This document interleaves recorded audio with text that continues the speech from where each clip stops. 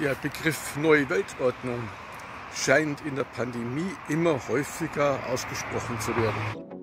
Australische Gesundheitsbeamtin verweist auf neue Weltordnung und löst Shitstorm aus. Wir werden prüfen, wie die Ermittlung von Kontaktpersonen in der neuen Weltordnung aussehen wird. Ehrlich gesagt weiß ich gar nicht, ob ich das alles in ein Video packe oder zwei draus mache. Ich bin schon relativ viel unterwegs, ich habe auch relativ viel gefilmt und habe den Überblick über die Länge komplett verloren. Ich mache eigentlich nie ein Skript, sage einfach, was mir einfällt, schneide es dann entsprechend zusammen,